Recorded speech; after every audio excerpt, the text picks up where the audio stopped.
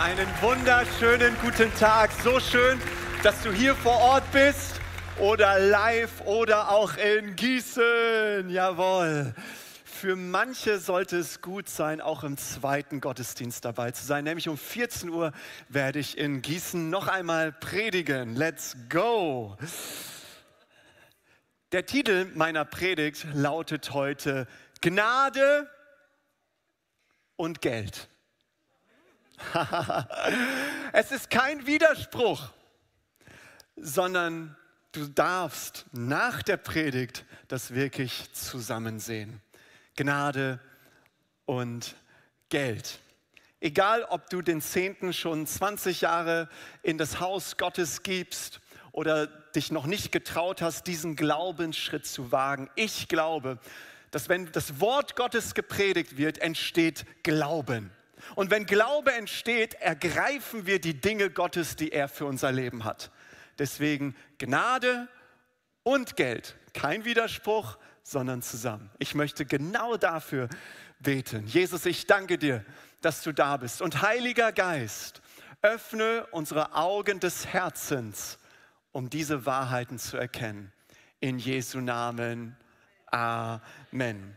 Ich las vor kurzem eine Geschichte von einem Gastsprecher, der in einer kleinen Kirche, in einer kleinen Gemeinde gepredigt hat. Und er hat eine grandiose Predigt über den Zehnten gehalten.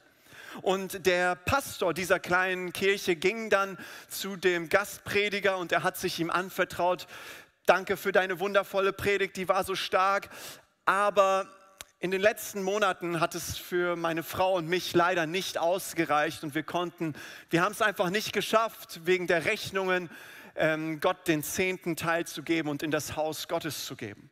Und der Gastsprecher hörte den Pastor so an und er hat ihn herausgefordert oder auf Neudeutsch gechallenged.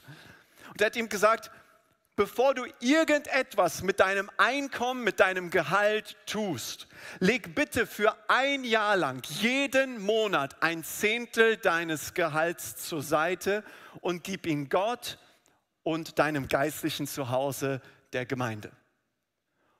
Und wenn irgendwann, egal wann, wenn irgendwann in dieser Zeit, wo du Gott den Zehnten gibst, du merkst, oh, jetzt kann ich meine Rechnungen nicht bezahlen, hast du die Erlaubnis von mir, du darfst mich jederzeit anrufen und sagen, ich brauche diesen Betrag, weil ich den Zehnten gezahlt habe, fehlt mir der und ich brauche Geld. Und ohne dass ich dir eine Frage stelle, werde ich dir einfach nur das Geld überweisen. Das ist doch mal ein Deal, oder? Da würden einige, ja und Amen, jetzt gebe ich meinen Zehnten. Danke, Jesus. Nach einem Jahr ruft dieser, äh, dieser Pastor dieser kleinen Gemeinde den Gastsprecher an. Ich habe dich seit einem Jahr nicht angerufen. Weißt du warum? Ich habe jeden Monat den Zehnten zur Seite gelegt und dem Gott geweiht und in das Haus Gottes gegeben. Und ich weiß nicht, wie es sein konnte. Ich verstehe es nicht. Auch mathemat mathematisch verstehe ich es nicht. Wir konnten immer die Rechnungen zahlen. Und der Gastsprecher auf der anderen Seite des Telefons sagte so, preis den Herrn. Aber jetzt habe ich eine Frage an dich. Warum konntest du mir mehr glauben als Gott?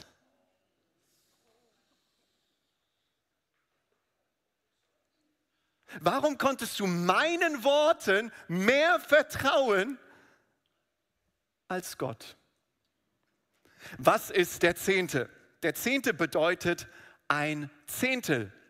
Zehn Prozent des Einkommens gehört Gott und dem Haus Gottes, wo du, wo du dein geistliches Zuhause hast. Die Frage lautet, müssen wir als Christen den Zehnten des Einkommens zahlen, den man im alten Bund an das Haus Gottes zahlte? Eigentlich drückte die Formulierung meiner Fragestellung schon ganz viel von einem falschen Verständnis aus, was leider einige Christen noch haben. Der Zehnte war vor allem eine Pflicht für die Juden im Alten Testament, die unter dem Gesetz des Moses lebten. Ich hoffe, du hast irgendetwas dabei, um irgendwas aufzuschreiben. Also ein Blog oder ein Handy, weil ansonsten musst du die Predigt halt über YouTube noch einmal sehen. Denn es gab nicht nur einen Zehnten im Alten Testament, sondern drei. Gut, dass du heute hier bist. Gut, dass du dir die Sachen merkst. Der erste Zehnte ging an die Leviten, die in der Stiftshütte und später im Tempel dem Volk und vor allem Gott dienten. Wer diesen Zehnten nicht bezahlte, so sagt uns das Wort Gottes, der beraubt Gott. Der zweite Zehnte sollte für die Feste in Jerusalem gegeben werden. Das Volk Gottes wurde aufgefordert, kommt nach Jerusalem und bringt euren Zehnten, damit wir gemeinsam essen und trinken und feiern in der Gegenwart Gottes. Was für ein schöner Zehnte, oder? Der dritte Zehnte war ein Armenzehnte. Diesen gab es in jedem dritten Jahr, womit die Witwen und Waisen unterstützt wurden. Das bedeutet pro Jahr 3,33 Prozent. Dazu gab es noch weitere Gebote. Die meisten Leute waren ja Landwirte, hatten irgendwas mit Feldern zu tun. Es war ein Gebot Gottes, dass du deine, deine Felder nicht bis zum Rand, bis zum äußersten Rand aberntest, sondern du musstest immer was übrig lassen für Menschen, die bedürftig sind. Später gab es dann noch eine Tempelsteuer. Das sehen wir ja auch im Neuen Testament. Petrus angelt da einen Fisch und da ist eine Steuer für, für, für Jesus und für Petrus gibt er die Steuer. Diese Zehnten, Plural, waren keine freiwilligen Gaben der Juden, sondern immer eine Art Steuer, um vor allem die Regierung in Form der Leviten und Priester zu finanzieren. Insgesamt waren es also nicht 10 Prozent, sondern um die 25 Prozent des Einkommens. Darüber hinaus gab es natürlich noch freiwillige Opfer für die Stiftshütte, für das Haus Gottes, für den Tempel, wo die Juden auch im Alten Testament schon voller Glauben und voller Erwartung und voller Freude äh, Dinge für Gott gebracht haben. Meine Frage ist jetzt, gilt das auch für uns? Ich habe uns etwas mitgebracht und manche Leute denken, dass alles in der Bibel auf einer Ebene ist. Die Bibel ist eine Scheibe. Alles ist Gottes Wort und alles ist gleich wichtig. Hier ist 1. Mose, hier sind die Psalmen, hier ist Jesaja, Matthäus und Offenbarung. Alles ist Gottes Wort und alles ist gleich wichtig. Und ich stehe heute hier und sage, nein, das ist so nicht. Okay, ihr wisst doch gar nicht warum. Denn in der Bibel siehst du eine fortlaufende Offenbarung, dessen Höhepunkt Jesus Christus ist. Alles aus dem Alten Testament weist auf Christus und die Grundlage für das Neue Testament, für den neuen Bund, ist das, was Christus am Kreuz getan hat. Er ist gestorben und auferstanden von den Toten. Deswegen bezieht sich alles aus dem Alten Testament auf Christus und alles aus dem Neuen Testament, das ist die Grundlage, was Christus vollbracht hat. Ganz einfach, wenn du das Kreuz und Christus, den Tod und die Auferstehung rausnimmst aus der Bibel, weißt du, was übrig bleibt? Es bleibt nichts mehr übrig. Wir haben alles dann verloren. Jetzt sagst du, ja, das freut mich jetzt. Ich bin nicht mehr unter dem Gesetz. Ich bin ja auch kein Jude. Das Gesetz wurde den Juden gegeben. Das heißt, ich muss die Zehnten ja nicht in das Haus Gottes bringen. Ich bin ja nach dem Gesetz. Jetzt ist Jesus hier und er hat alles neu gemacht. Diese Aussage müssen wir einfach mal differenziert betrachten. Erstens, wir müssen gar nichts zahlen und wir müssen gar nichts geben. Wir sind als evangelische Freikirche ähm, weder von, wir bekommen weder Kirchensteuern noch haben wir Mitgliederbeiträge. Zweitens, eine der größten Wahrheiten des Neuen Testamentes ist, dass Jesus uns frei gemacht hat vom Gesetz. Wir sind nicht mehr unter der Knechtschaft des Gesetzes, sondern wir sind frei durch Jesus Christus. Wenn du aber jetzt denkst, nee, das Gesetz des Mose ist immer noch für mich, ja, dann fordere ich dich auf, bitte gib nicht nur 10%, sondern wie wir gerade gesehen haben, 25% in das Haus Gottes und halte bitte noch die weiteren über 600 Gebote, weil das ja anscheinend für dich der Weg ist, um in den Himmel zu kommen. Viel Erfolg dabei. Im neuen Bund, in der neuen Beziehung zu Gott durch Jesus Christus sind wir nicht mehr unter dem Gesetz, weil Christus das Gesetz erfüllt hat. Die Art und Weise, wie wir uns Gott nähern, ist durch Jesus Christus. Wenn du jetzt weitere Fragen dazu hast, geh einfach auf YouTube. Das Gesetz tötet, der Geist macht lebendig und da habe ich eine Dreier-Serie für dich zu dieser Thematik. Einige haben es verstanden. Drittens, der Zehnte wird nicht nur im Gesetz des Mose erwähnt, sondern auch 500 Jahre bevor das Gesetz von Mose gegeben wurde. Nämlich bei, bei Abraham sehen wir den Zehnten und auch bei Jakob. So meine Frage an dich ist jetzt, wie viel Zeit hast du heute mitgebracht? Heute können wir leider nicht alles erledigen, aber irgendwann in Jesu Namen wird es ein Teil 2 geben. Und Jesus sprach auch, und im Neuen Testament sehen wir auch den Zehnten, was wir auch in den letzten Wochen gesehen haben und gehört haben. Das bedeutet also, dieser Zehnte ist ein göttliches Prinzip, was sich durch den Alten und durch das Neue Testament durchzieht. Lasst uns mal schauen, was Jesus zum Thema Geld gesagt hat. In Matthäus 6, Vers 24 heißt es, ein Mensch kann nicht zwei Herren dienen. Er wird dem einen ergeben sein und den anderen hassen. Für den einen wird er sich ganz einsetzen und den anderen wird er verachten. Ihr könnt keine Diener Gottes sein, wenn ihr gleichzeitig der Macht des Geldes, dem Gott Mammon, verfallen seid. Früher dachte ich immer, wenn gute Menschen fünf Euro auf der Straße finden, wird dieses Geld gut weil sie es für gute Zwecke nutzen. Und dann, wenn schlechte Menschen fünf Euro auf der Straße finden, wird dieses Geld schlecht, weil sie das für schlechte Dinge verwenden. Jesus spricht aber hier über was ganz anderes. Er sagt, Geld ist nicht neutral. Er verwendet das Wort Mammon. Mammon war damals die Bezeichnung für Reichtum und Geld. Eigentlich hat es einen neutralen, vom Begriff her ist er ziemlich neutral. Bloß mit, in der Laufe der Zeit wurde, wurde dieser Begriff Mammon negativ geprägt. Die Wortwurzel von Mammon ist abzuleiten und bedeutet so viel wie dasjenige, worauf man vertraut. Das ist der Mammon. Und Jesus bezeichnet den Mammon ja wie so eine personifizierte übermenschliche Kraft, die das Potenzial hat, Menschen zu veranlassen, Gott zu verachten und Gott zu hassen. Im anderen Kontext sagt Jesus, der Mammon ist ungerecht. Logischerweise stellen wir uns jetzt eine Frage. Ja, was ist denn mit dem Einkommen, mit dem Gehalt, was ich verdiene?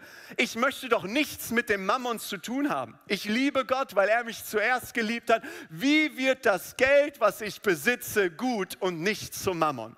Eine sehr gute Frage. Gut, dass du sie stellst. Und hier kommen wir wieder zu einem biblischen Prinzip, was wir im Alten und im Neuen Testament finden.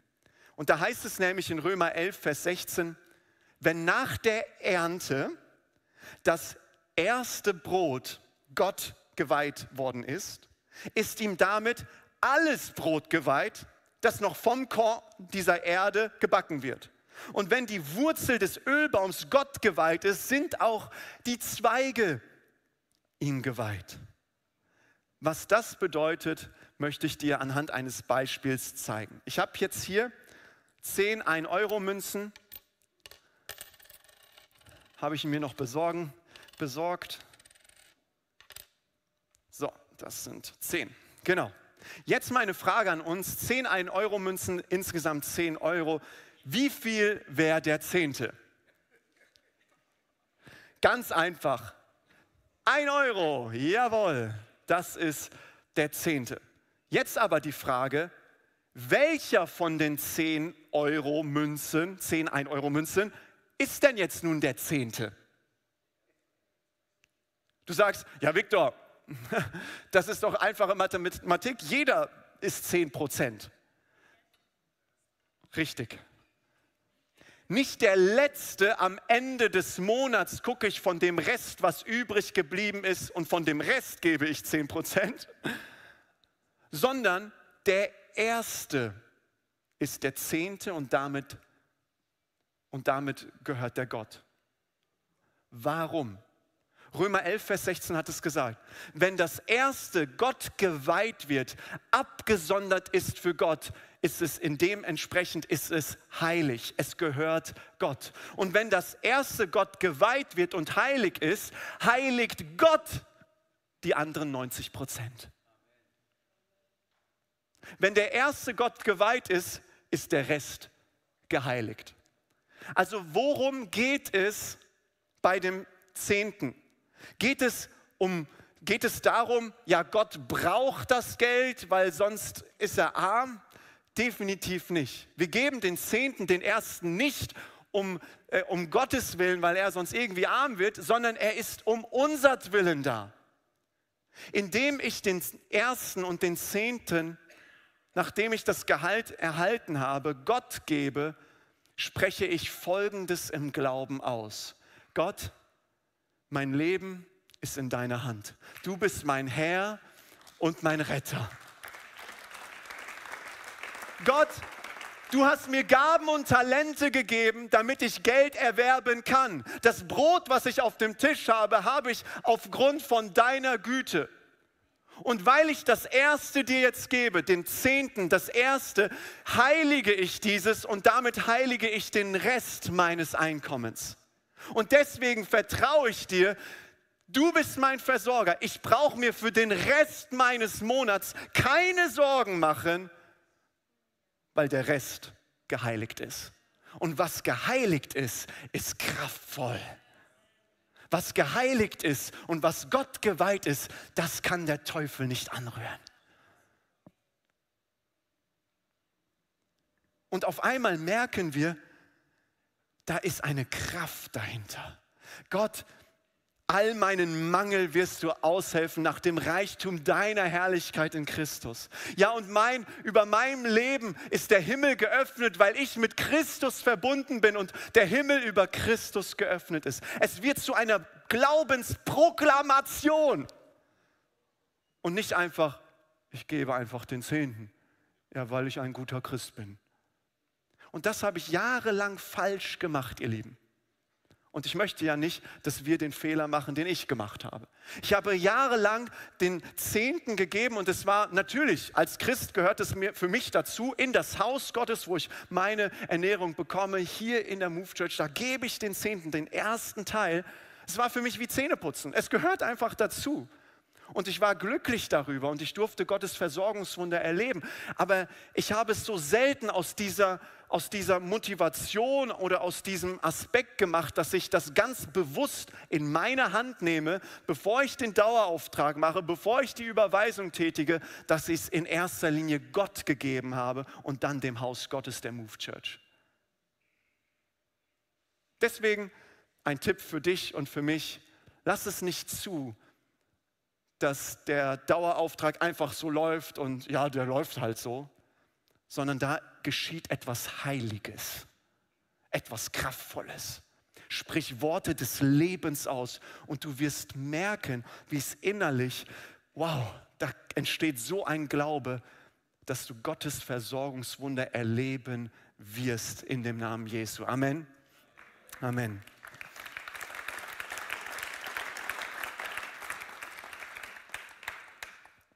Vielleicht sagst du jetzt, oh Mann, Gott will 10 Prozent, das ist sehr viel Geld, gerade auch in unserer Zeit. Ich habe eine gute Nachricht für uns. Gott will nicht nur unsere 10 Prozent, er will uns und unser gesamtes Leben. Hast du schon mal die, diesen Spruch gehört, die Kirche will nur dein Geld? Nur zwei Leute also wenn ich mit Menschen rede, die nicht an Jesus glauben, dann ist das gefühlt in jedem Gespräch. Wir sollten mehr mit Menschen reden, die nicht in die Kirche gehen. Aber warte mal, hast du schon mal den Spruch gehört, Apple will nur dein Geld? Ich kaufe mir keine Apple-Produkte, denn Apple will nur mein Geld. Nee, oder? Hast du schon mal den Spruch gehört, zu McDonald's gehe ich nicht, die wollen nur mein Geld?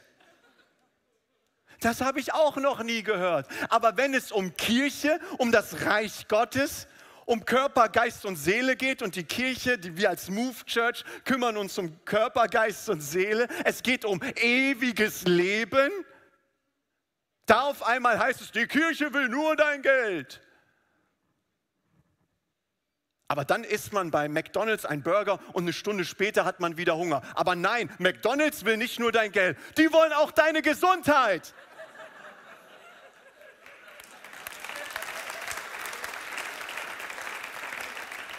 Wir sehen manchmal, welche Lügen so vielleicht auch unbewusst in den Menschen und vielleicht auch bei uns da sind.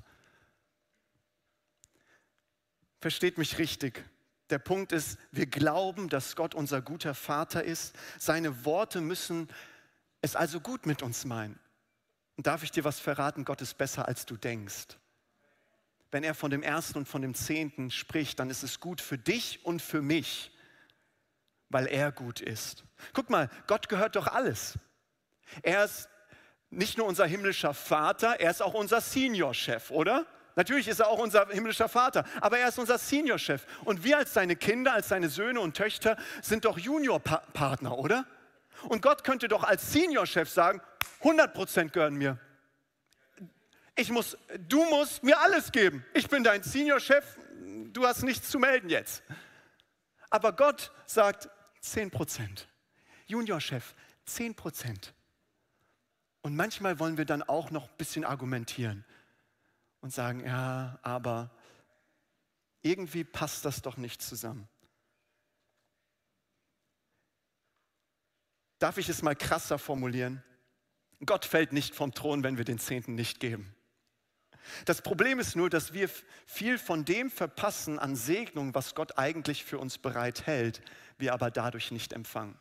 Lasst es mich noch krasser formulieren.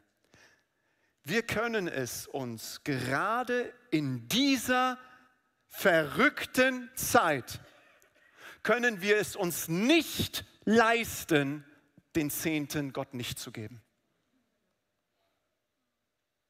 Wir können es uns nicht leisten. Warum? Wenn ich 10% meines Einkommens Gott gebe, werden die anderen 90% sind sie geheiligt.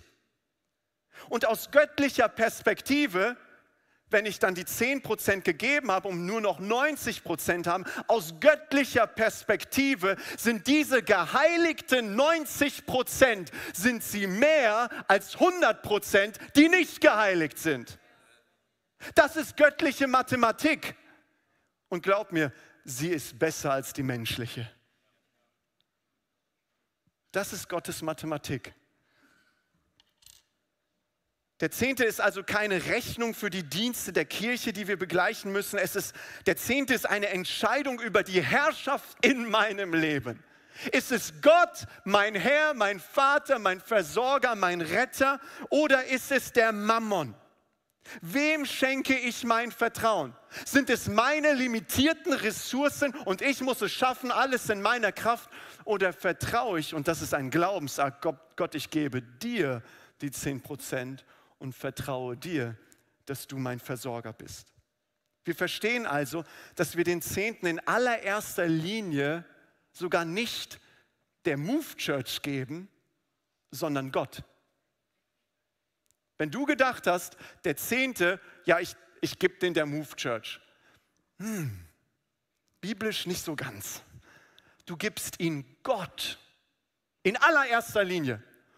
Und dann gibst du es dem Haus Gottes. Und natürlich, weil du hier in der Church bist, weil das dein Zuhause ist, gibst du es der Move Church. Aber in allererster Linie Gott. Da brauchen wir eine Veränderung in unserem Denken. Weil sonst geht es nur darum, ja, wir müssen, hier, wir müssen hier Rechnungen zahlen und Rechnungen zahlen. Ja, natürlich. Aber du gibst es Gott in erster Linie, dem Haus Gottes. Das bedeutet, wenn du aus einer anderen Kirche bist, gibst du den Zehnten nicht hier rein, sondern dort in der Kirche, wo du zu Hause bist.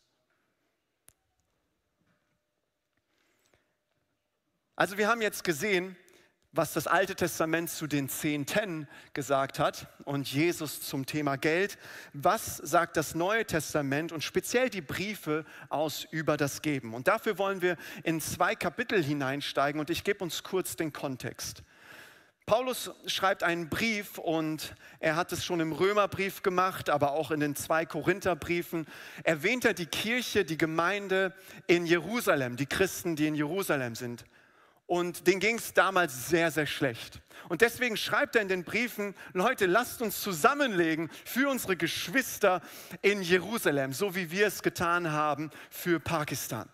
Und er sagt, sie brauchen unsere Hilfe, sie brauchen unsere Unterstützung. Und in dem Kontext, als er zu den Korinthern schreibt, schreibt er über Gemeinden aus Mazedonien, die sehr vorbildlich bei diesem Spendenaufruf mitgemacht haben. Und jetzt steigen wir ein in 2. Korinther 8, Vers 1 bis 5. Wir möchten euch nun, liebe Geschwister, von der besonderen Gnade berichten, die Gott den Gemeinden in Mazedonien geschenkt hat. Mazedonien war damals ein Teil der römischen Provinz in Griechenland, also nicht das heutige Mazedonien. Die Nöte, die sie durchmachten, bedeuteten eine große Bewährungsprobe für sie. Und trotzdem waren die Gläubigen von einer unbeschreiblichen Freude erfüllt.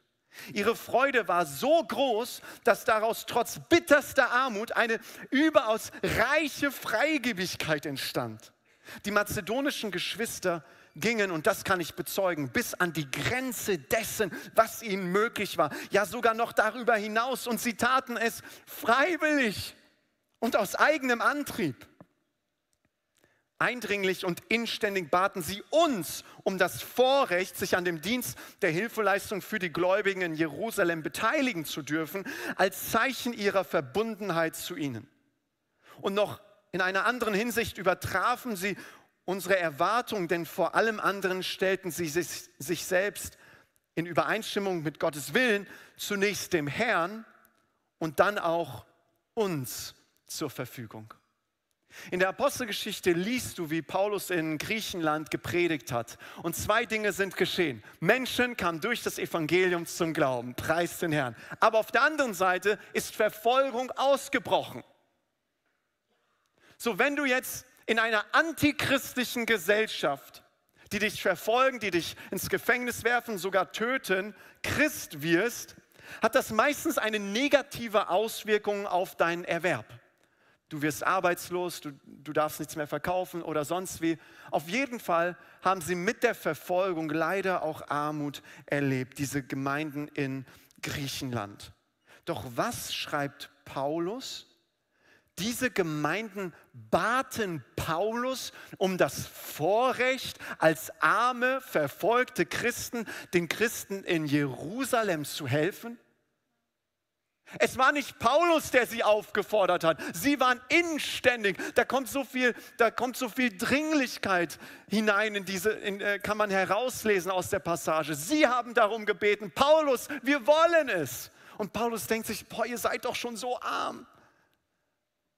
Wie konnten sie das geben? Das macht doch, das ergibt doch überhaupt keinen Sinn. Und Paulus drückt es aus, 2. Korinther 8, Vers 1. Wir lesen es nochmal.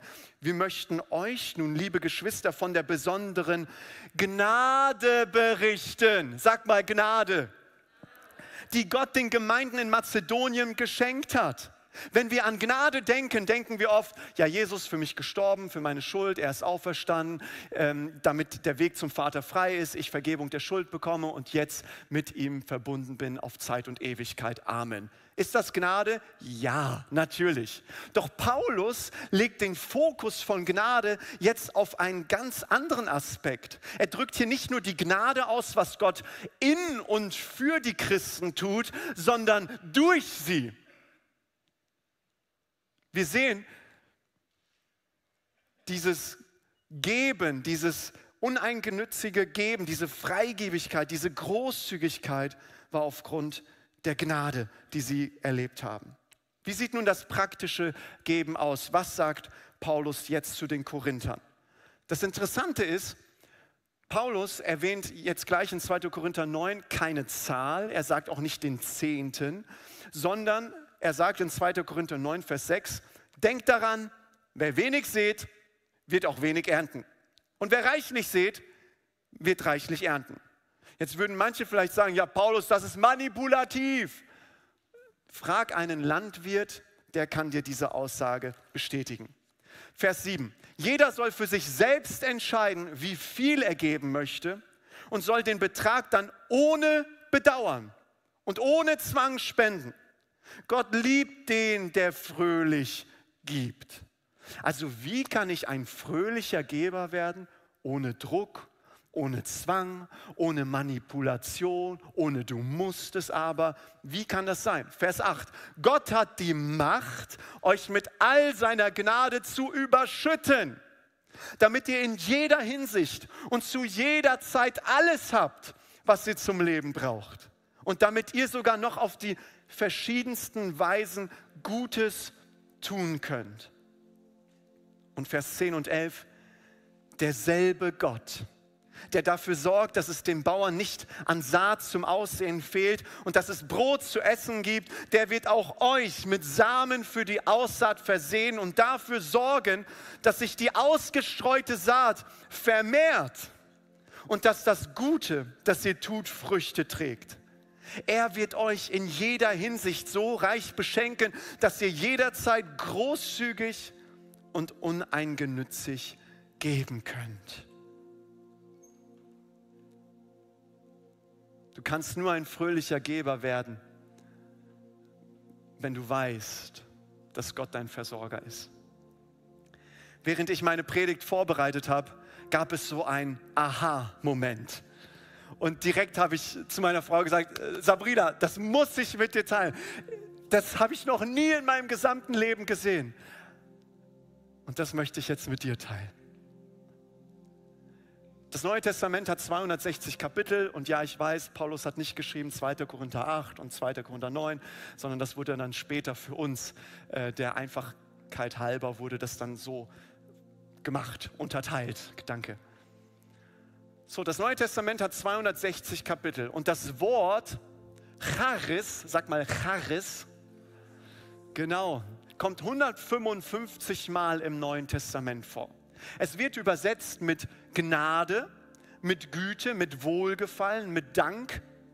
Also wenn du, wenn du manchmal Dank liest oder Güte oder Wohlgefallen, kann es das griechische Wort Charis sein im Neuen Testament. Aber vor allem wird es mit Gnade übersetzt. 155 Mal kommt es im Neuen Testament vor. So in einem Kapitel kommt es am allermeisten vor im Neuen Testament. Kein einziges Kapitel hat mehr als sieben Nennungen von Charis. Und ratet mal, wo Charis Gnade am meisten vorkommt. Richtig, in 2. Korinther 8. Noch etwas. Ich habe es extra für dich herausgefunden. Du kannst es auch noch mal prüfen, das ist gut. In den zwei aufeinanderfolgenden Kapiteln, wo Charis, Gnade, am meisten vorkommt in diesen 260 Kapiteln, rate mal, wo Gnade mit zehnmal am häufigsten, nirgendwo kommt es häufiger vor, wo das drin steht. Richtig. In 2. Korinther 8 und in Kapitel 9. Deswegen schließt Paulus diesen diese Kapitel auch ab mit der Gnade, nämlich 2. Korinther 9, Vers 15. Dank sei Gott für das unbeschreibliche große Geschenk, das er uns gemacht hat. Und jetzt meine Frage an uns. Das Wort Gnade, wo es am meisten im Neuen Testament vorkommt, 2. Korinther 8 und 2. Korinther 9. Um welche Thematik geht es dort? Es geht um Finanzen. Es geht um Kollekte. Es geht um Spendenaufrufe. Und wir denken uns so, hey, das kann doch nicht sein irgendwie. Aber anscheinend braucht es Gnade, um geben zu können. Anscheinend braucht es Gottes Über auf unserem Natürlichen, damit wir geben. Anscheinend braucht es eine göttliche Offenbarung von dem einzigartigen Geschenk, was wir durch Christus erhalten haben, damit wir geben können. Und dieses Geschenk ist nicht irgendetwas, es ist jemand. Gott wird Mensch in Christus und verschenkt sich an uns. Gnade und Geld. Es passt so wunderbar zusammen. Wir brauchen eine göttliche Offenbarung, damit wir fröhliche Geber werden. Wenn unsere ganze, wenn diese Welt schreit, Geiz ist geil, ich mich meiner mir, Strompreise, Inflation, Krieg, verändert uns die Gnade Gottes von innen nach außen und wir werden großzügige Geber, die die Versorgungswunder Gottes erleben werden.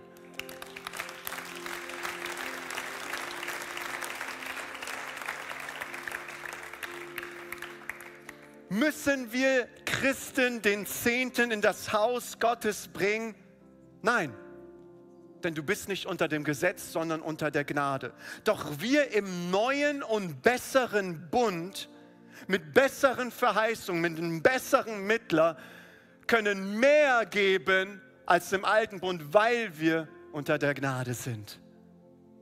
Es ist kein Gesetz mehr, sondern es ist Leben.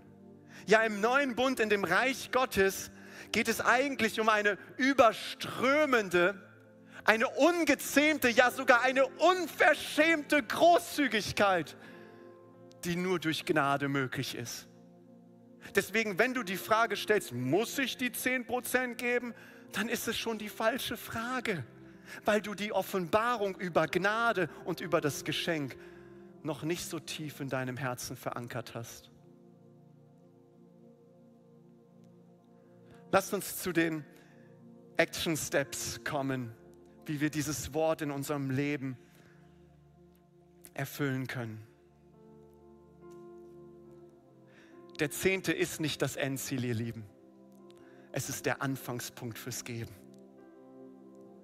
Und was meine ich mit dem Zehnten? Es kommt in das Haus Gottes hinein. Und ich bin so dankbar, in einer Kirche zu sein, die so großzügig sind. Aber lasst es mich ganz deutlich sagen, der Zehnte ist nicht, okay, ich habe jetzt eine Person aus der Gemeinde finanziell unterstützt, deswegen gebe ich jetzt weniger bei meinem Zehnten für die Gemeinde. Der Zehnte ist auch nicht, ich habe für Pakistan war ich großzügig, deswegen gebe ich nicht in die Gemeinde.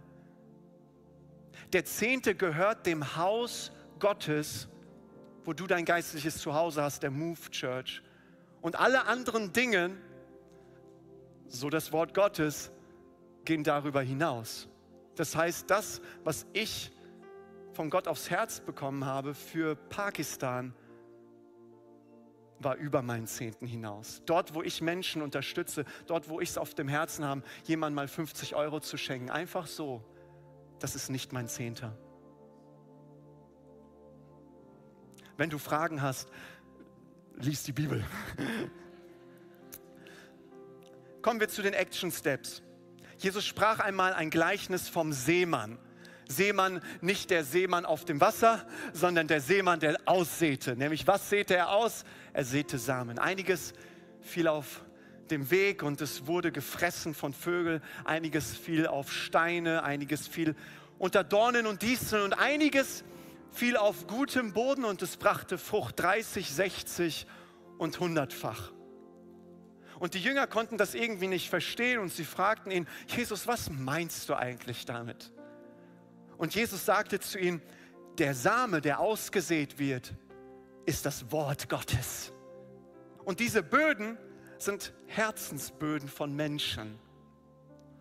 Und in Matthäus 13, Vers 22 sagt Jesus, der aber unter die Dornen gesät ist, das ist, der das Wort hört und die Sorge der Welt und der trügerische Reichtum ersticken das Wort und er bringt keine Frucht. Warte mal. Über welche Worte reden wir hier gerade? Es sind richtig, es sind Gottes Worte, die ausgesät werden und die können bei Dornen und Disteln erstickt werden. Warte mal, das kraftvolle Wort Gottes, er sprach und alles kam in Existenz. Er sprach und Menschen wurden geheilt und werden heute immer noch geheilt. Dieses kraftvolle Wort Gottes kann in meinem Herzen durch meine Sorgen erstickt werden. Und das ist der Punkt. Das allmächtige Wort Gottes durch meinen kleinen Sorgen und durch meinen Blick auf den trügerischen Reichtum, das Wort Gottes wird keine Frucht bringen. Diese Predigt kann umsonst gewesen sein, weil wir uns die ganze Zeit Sorgen machen. Ich weiß, wir reden in letzter Zeit viel über Preise und wenn man mit den Leuten in Kontakt tretet. Aber wann war das letzte Mal, als du mit jemandem aus der Church oder sonst wo geredet hast über diese Thematik, dass jemand gesagt hat, aber weißt du was, Gott ist immer noch mein Versorger. Und weißt du was, ich darf immer noch großzügig sein, sogar über meinen Zehnten hinaus. Wie geht das? Gnade. Gnade und Geld. Lasst uns doch, lasst, wir dürfen es doch nicht zulassen, dass wir im Gespräch miteinander, dass die Sorgen noch größer werden. Dann erstickt das Wort Gottes doch noch mehr in unserem Herzen. Gott möchte es so sehr für uns, dass es uns gut geht, dass er unser Versorger ist, dass unser Geld geheiligt ist und geweiht. Danke, Jesus. Lass doch für einen kurzen Moment der Privatsphäre, lasst uns doch einfach unsere Augen schließen. Und ich möchte, dass du jetzt wirklich genau zuhörst. Wir haben auf den Plätzen wurden Kollektenumschläge verteilt und in dem Kollektenumschlag sind zwei Bibelverse drin. Und mach einfach deine Augen zu, du brauchst da jetzt nicht reinschauen, sondern lass das Wort Gottes jetzt einfach auf dich wirken. Das nächste Mal, wenn du dir überlegst, wann gebe ich, wie viel gebe ich, Dauerauftrag und sonst was, lass dein Geben immer von diesen zwei Bibelstellen geprägt sein. 2. Korinther 9, Vers 8. Gott hat die Macht, euch mit all seiner Gnade zu überschütten, damit ihr in jeder Hinsicht und zu jeder Zeit alles habt, was ihr zum Leben braucht. Und damit ihr sogar noch auf die verschiedensten Weisen Gutes tun könnt. Dank sei Gott für das unbeschreiblich große Geschenk, das er uns gemacht hat das nächste Mal, wenn du über Geben, über Finanzen nachdenkst, möchte Gott, dass du über Gnade nachdenkst.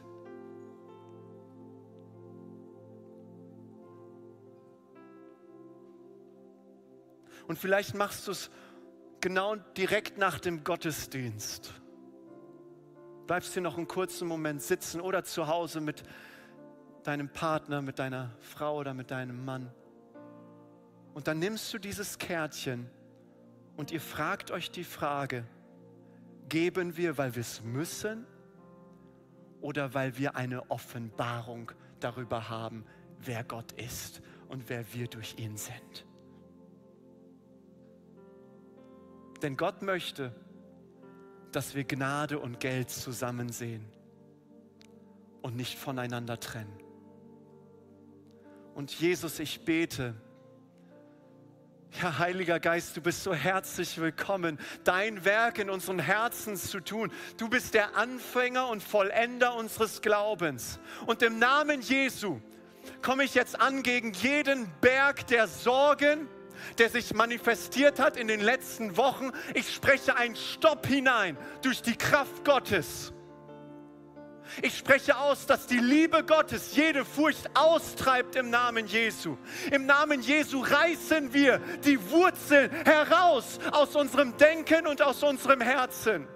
Denn das Wort Gottes soll aufgehen und Frucht bringen. 30, 60 und 100-fach. Im Namen Jesu spreche ich göttliche Versorgungswunder aus. Dort, wo Menschen denken, ich kann es mir nicht leisten, den Zehnten zu geben. Ich spreche Gottes übernatürliche Versorgung aus. Ich spreche Mut aus und Kühnheit, den Zehnten das Erste zu geben. Ich spreche die Gnade Gottes aus in dem Namen Jesu über unser Leben. Wir danken dir, Herr, dass unser Leben, dass wir als Move Church in deiner Hand sind. Wir lieben dich, Jesus. In Jesu Namen. Amen. Amen.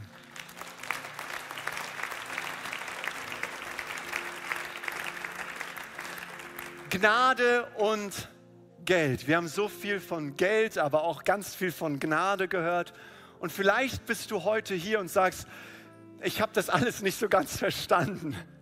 Ist kein Problem. Das Wichtigste kommt jetzt. Jesus liebt dich. Er ist, er ist die Gnade in Person. Er hat alles für dich gegeben. Er ist gestorben für deine und meine Schuld. Er ist auferstanden von den Toten, damit uns nichts mehr von der Liebe Gottes trennen kann. Du darfst dieses Geschenk der Gnade annehmen, Vergebung erleben. Du darfst wissen, dass du heute ein Kind Gottes wirst und dass der himmlische Vater deine Ressource ist, dass er dein Vater und dein Versorger ist. Und wenn du heute hier bist oder online oder auch in Gießen und sagst, ich kenne diesen Gott noch nicht, dann lasst uns für einen kurzen Moment alle gemeinsam unsere Augen schließen für einen kurzen Moment der Privatsphäre. Aber wenn du sagst, ich möchte heute und jetzt Ja sagen zu diesem Gott, ich möchte das Geschenk der Vergebung annehmen, dann heb doch jetzt bitte deine Hand, während keiner die Augen geöffnet hat, niemand nach links oder rechts schaut. Dankeschön, Dankeschön. Sind, sind noch mehr Leute hier, die die Gnade Gottes, Vergebung heute annehmen. Jesus hat alles für dich getan, damit du dieses unbeschreibliche Geschenk, Dankeschön, ich sehe dich da auch oben, danke Jesus. Ist noch jemand hier? Dankeschön, Dankeschön. Jesus kämpft um dein Herz. Danke, Jesus. Ist noch jemand hier, der sagt, ich möchte mit Jesus leben. Ich möchte, dass er meine Schuld vergibt. Dankeschön. Wow. Ihr dürft eure Hände herunternehmen. Wir möchten jetzt ein Gebet sprechen und dieses Gebet wird dich mit dem himmlischen Vater verbinden. Deswegen lasst uns hier vor Ort, zu Hause oder auch in Gießen das gemeinsam sprechen. Himmlischer Vater, danke für dein einzigartiges Geschenk. Danke für Jesus Christus, der für meine Schuld gestorben und am dritten Tag auferstanden ist. Deswegen bitte ich dich, vergib mir meine Schuld, reinige mich von jeder Sünde, erfülle mich mit deinem Heiligen Geist. Von nun an bin ich dein Kind und du bist mein himmlischer Vater. In Jesu Namen. Amen.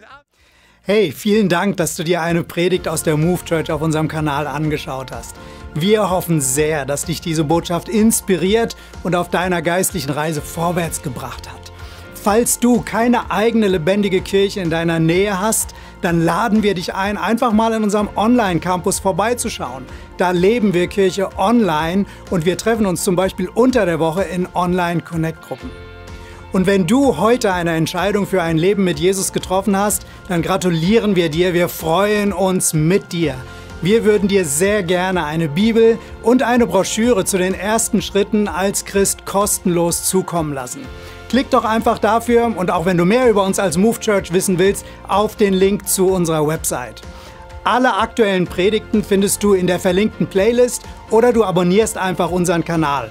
Und wenn du mithelfen willst, die Botschaft vom Gott der Liebe und Gnade weiter zu verbreiten, dann kannst du uns gerne über unsere Website finanziell unterstützen. Bis demnächst.